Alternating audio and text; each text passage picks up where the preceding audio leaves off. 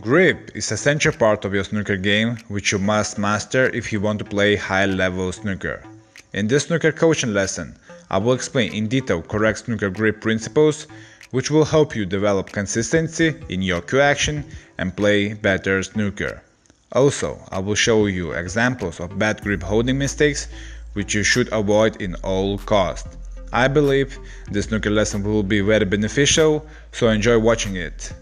Grip is one of the most essential and the most important technical parts of the game.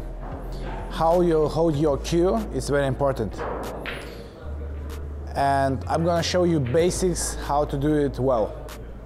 Okay, so first thing, this part of the finger, this part, is the most important thing in the grip. What do I mean about that? I think that you have to hold your cue with the skin. You have to feel it. You see? There is no hole in your hand.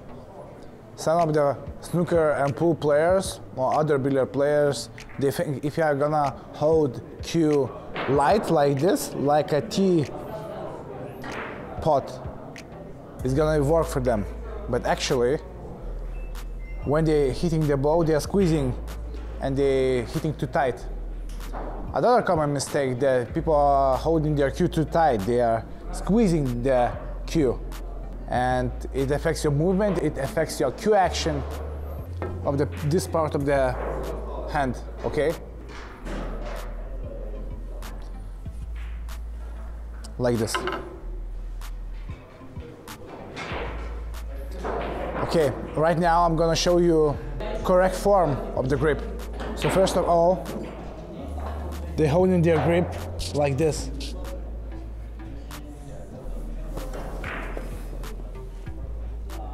Or another way around like this. Of course, everybody and every pro has different uh, grip, but in the beginning, I, I, would say the best start just to make sure that your cue is, your cue hand is straight like this. You see it? Like this. Okay, now I'm gonna show you how to do correct backswing. So some people say, okay, I have to hold my cue smooth. So I'm gonna release my fingers like this. No, no good. Better open your fingers slightly, but still hold the cue. You see?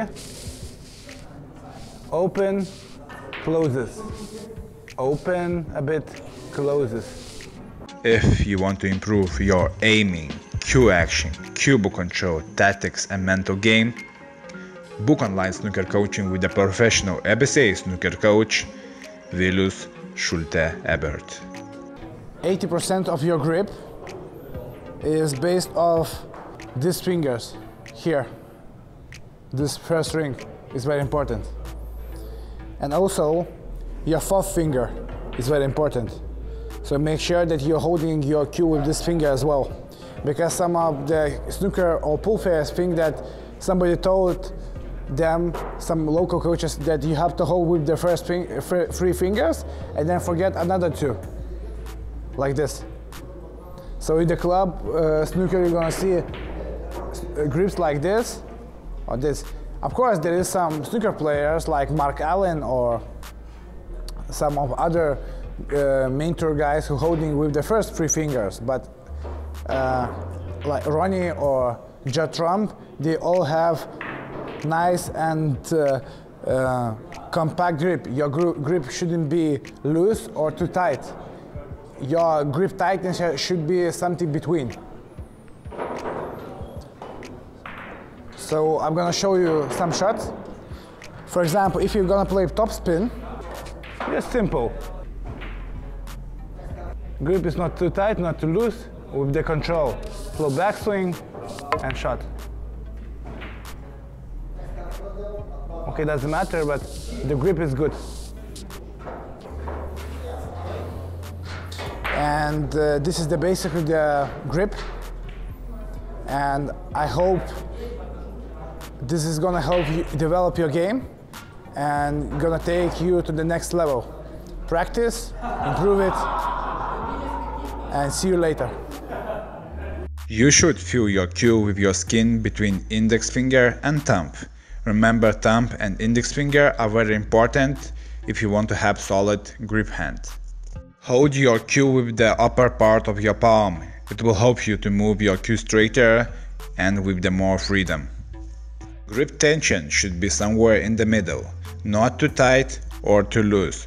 You have to have sense of control and cue movement freedom at the same time. It takes little bit time to find correct feeling, which is good for you personally, so practice it a lot.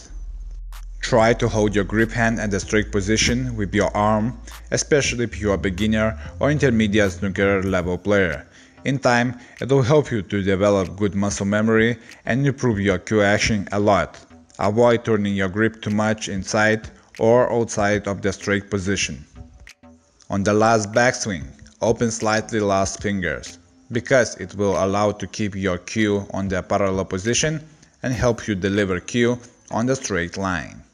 If you enjoyed our video, make sure to smash the like button, ring the bell Share this video with your snooker friends and if you are new, subscribe to our channel because we have many interesting snooker coaching videos which will help you improve your snooker game and take to another level. See you folks!